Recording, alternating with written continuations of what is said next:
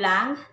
Narito po tayo ngayon para sa Parent Orientation on Modular Distance Learning para sa school year 2021 to 2022. Para po sa videong ito ay tatalakayin po natin kung ano ang mga dapat gawin ninyo bilang mga magulang para sa modular distance learning. Bagamat hindi na po ito bago sa atin dahil nga tayo po ay nasa ikalawang taon na ng modular distance learning, mahalaga pa rin po ang ating tatalakayin ngayon dahil makakatulong po ito sa inyo bilang mga magulang at makakatulong din ito sa inyong mga anak. Narito po ang ating mga agenda. Ano ang modular distance learning? Ano ang kahulugan ng 5Ps? Mga dapat tandaan sa paggamit ng modules. Huli, mga dapat tandaan sa pagkuha at pagsauli ng modules. Ano nga ba ang modular distance learning? Ito ay isang paraan ng pagkatuto ng mga bata na kung saan ay binibigyan sila ng modules at pinag-aaralan nila ito sa tulong ng kanilang mga magulang o kaya naman ng kanilang mga guardian. Ito ay ginagawa kung hindi posible ang face-to-face na pag-aaral ng mga bata. Sa paraan po ng pag-aaral na ito ay gumagamit po ang mga bata ng mga printed o digital modules. Ito po ay nakadepende sa kung ano pong format ang available sa kanilang mga lugar. Ang mga halimbawa po ng digital modules ay ang mga makikita sa mga cellphones, mga tablet, mga laptop o sa mga computer. Ang mga halimbawa naman po ng printed modules ay ang mga katulad po nitong mga hawak ko. Halimbawa rin po nito ay ang mga textbook at yung mga nasa sagutang gawain ng mga mag-aaral. Ano nga po ba ang tinatawag na 5 Ps? Ito po ay ang paghahanda, pagtungo, pag-aaral, pagbalik, at pagtugon. Ano nga ba ang tinatawag na paghahanda? Dito po ay inihahanda ng mga guro ang lahat po ng mga kakailanganin ng mga bata na ilalagay po sa learning kit na kukunin naman po ng kanilang mga magulang sa linggong ito. Pagtungo. Ano nga po ba ang pagtungo? Dito po ay pumupunta o pupunta ang mga magulang o ang mga guardian sa paaralan sa itinakdang araw at oras para kunin po ang learning kit ng kanilang mga bata. Pag-aaral. Dito po ay aaralin ng mga bata kung ano po ang nakalagay sa modules at kailangan po nilang sagutan ang lahat ng mga kailangang sagutan para po sa nakatakdang linggong ito. Kung meron naman po silang katanungan, ay pwede naman po silang humingi ng tulong sa kanilang mga magulang o guardian, pati na rin po sa kanilang mga nakakatandang kapatid, at pwede rin po silang tumawag o kumontak sa kanilang mga guro para po matugunan ang kanilang mga katanungan. Pagbalik. Dito po ay ibinabalik ng mga magulang ang mga sinagutang papel ng mga bata sa nakatakdang araw at oras nito. Pagtugon.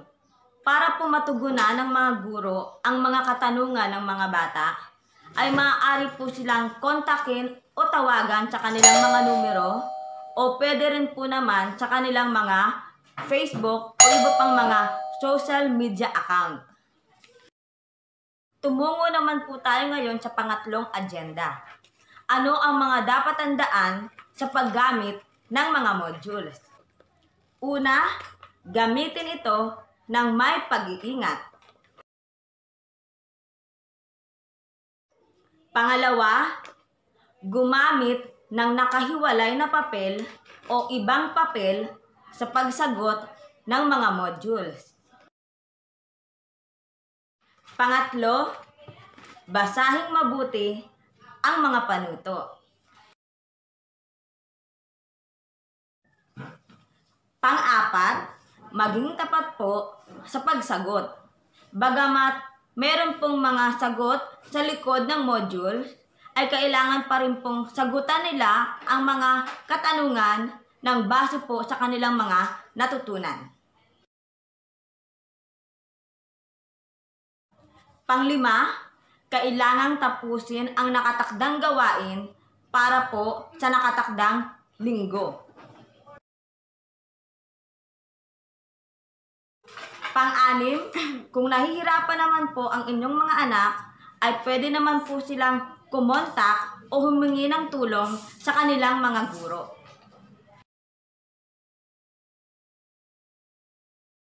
Pangpito, maaari rin po silang kumonsulta sa kanilang mga magulang o guardian, pati na rin po sa kanilang mga nakatatandang kapatid.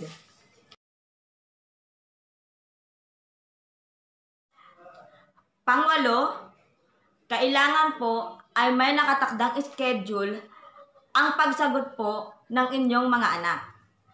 Meron pong nakatakdang class program ang bawat mga guro. Pero pwede rin po kayong gumawa ng inyong sariling schedule base po sa inyong availability. Pangsyam, siguraduhin pong nasagutan ang lahat ng mga gawain ng mga bata na nakatakda po sa linggong iyon.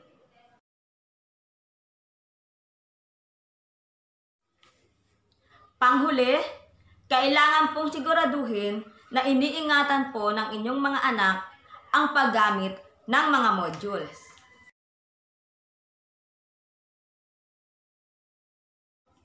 Ngayon po ay dumako naman po tayo sa ating pang-apat at panghuling agenda. Mga paalala sa pagkuha at pagsauli ng mga modules.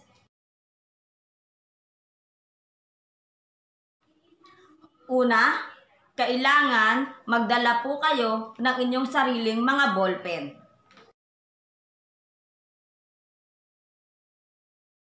Pangalawa, pumunta po sa nakatakdang oras at araw kung kailan po dapat isauli o kunin ang mga modules.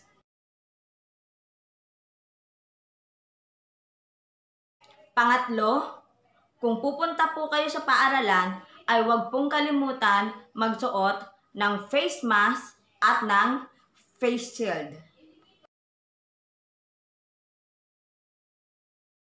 Pang-apat, ugaliin po natin na lagi po tayong maglagay ng alcohol.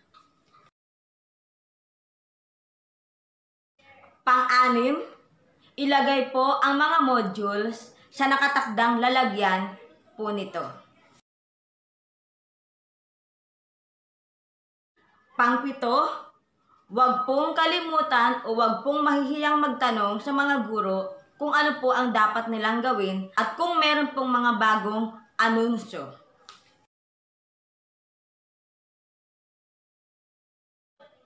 Dito po nagtatapos ang video ito at sana po ay meron po kayong mga natutunan mula rito.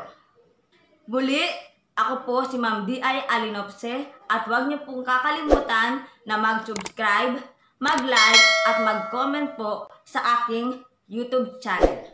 Maraming maraming salamat po. Bye-bye!